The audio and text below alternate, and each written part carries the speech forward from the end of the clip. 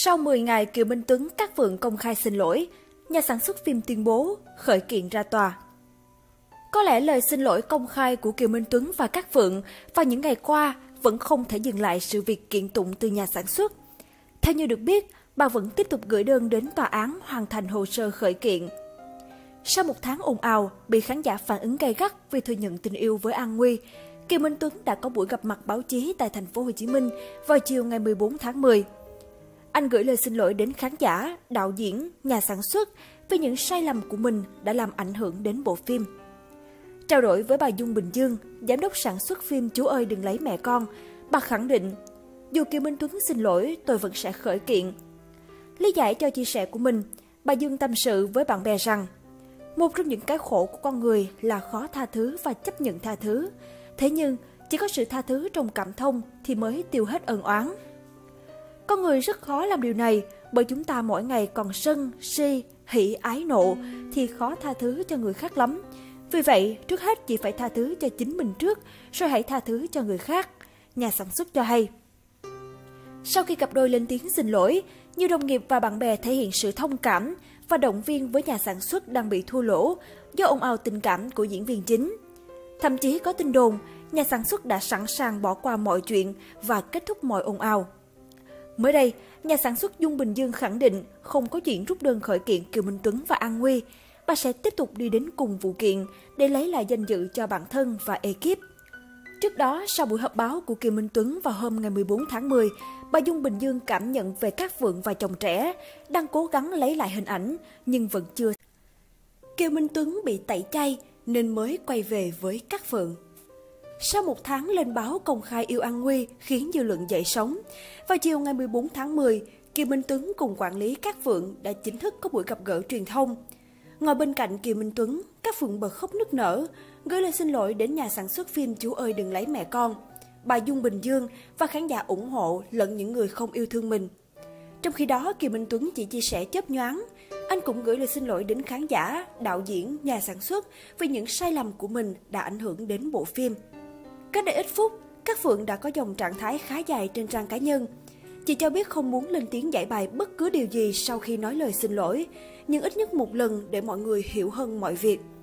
Bà xã Kiều Minh Tuấn cho hay, sau buổi gặp gỡ truyền thông, khán giả chửi chị rất nhiều, mọi người vẫn khẳng định chị là người đứng sau đạo diễn ồn ào này để PR phim.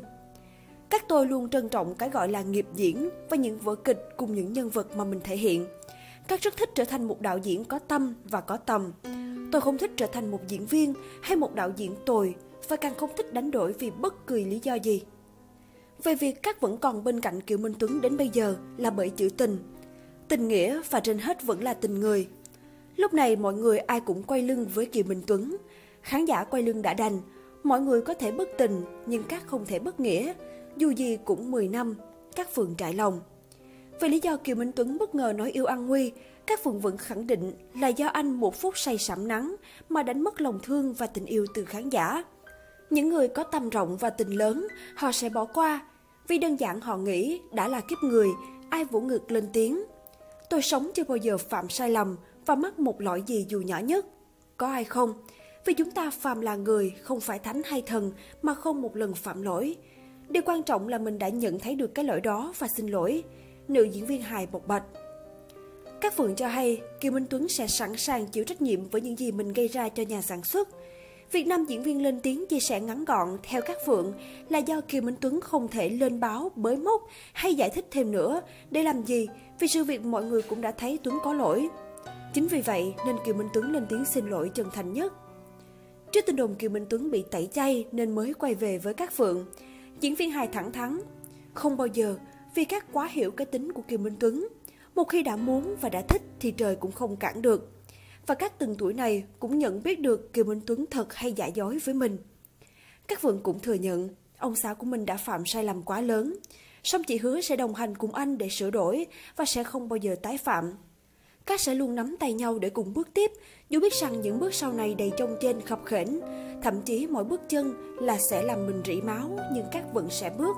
Chị nói, sau lời xin lỗi của các Phượng và Kiều Minh Tuấn, nhà sản xuất Dung Bình Dương tỏ ra vô cùng bức xúc vì không được mời đến dự buổi gặp gỡ như lời hứa của các Phượng trước đó.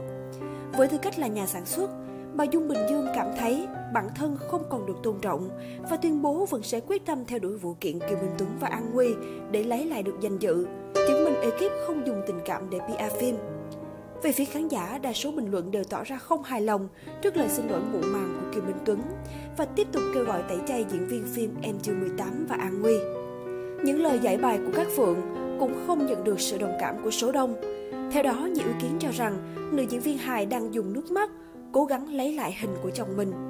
Bên cạnh đó, khán giả nhận định các Phượng luôn úp mở từ khi scandal xảy ra thay vì lên tiếng nói rõ ngay từ đầu. Đây là lý do thực sự khiến Kiều Minh Tuấn và An Nguy yêu nhau rồi khóc thừa nhận trước khán giả.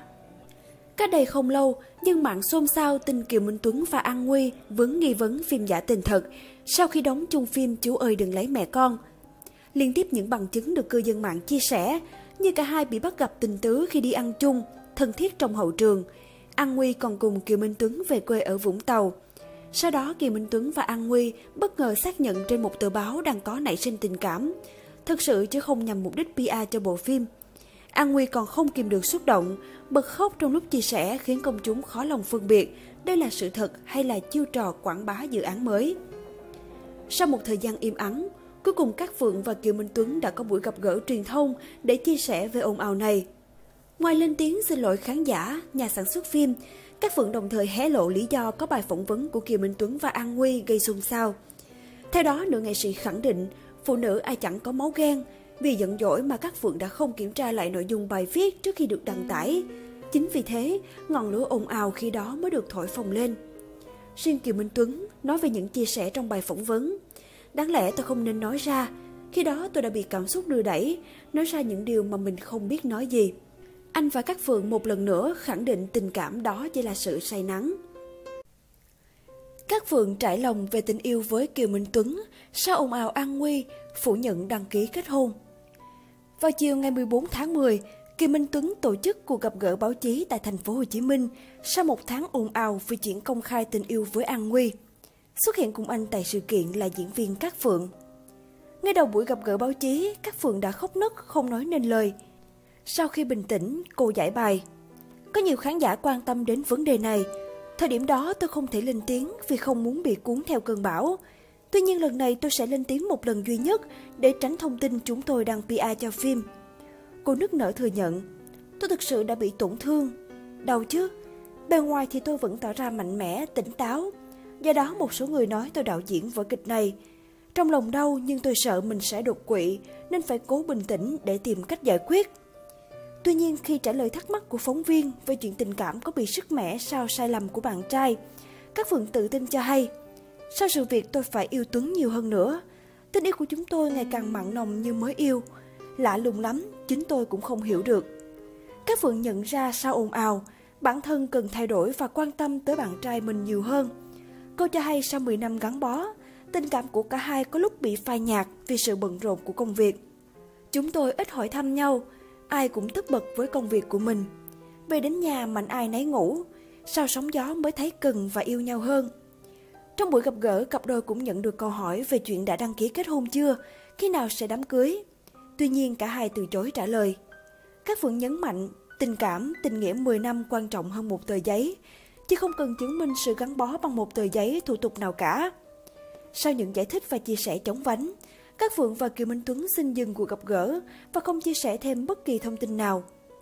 Trước đó vào cuối tháng 8, Kiều Minh Tuấn và An Nguy vướng nghi vấn phim giả tình thật sau khi đóng chung phim Chú ơi đừng lấy mẹ con. Cả hai bị bắt gặp tình tứ khi đang đi ăn chung, đi chơi ở Vũng Tàu. Về phía các phường chỉ khẳng định tình cảm giữa chị và Kiều Minh Tuấn vẫn tốt đẹp. Chỉ còn tiết lộ cả hai đang tính đến một đám cưới ấm cúng, vui vẻ bên người thân và bạn bè. Vào ngày 13 tháng 9, Kiều Minh Tuấn và An Nguy bất ngờ xác nhận đang yêu nhau trên một tờ báo. Cả hai khẳng định tình yêu thực sự chứ không nhằm mục đích PR. Sau 10 ngày phim Chú ơi đừng lấy mẹ con công chiếu với doanh thu bết bát, nhà sản xuất Dung Bình Dương chia sẻ sẽ kiện Kiều Minh Tuấn và An Nguy. Theo bà, cặp đôi diễn viên đã chia sẻ chuyện tình yêu phản cảm, dẫn tới khán giả la ó tẩy chay bộ phim.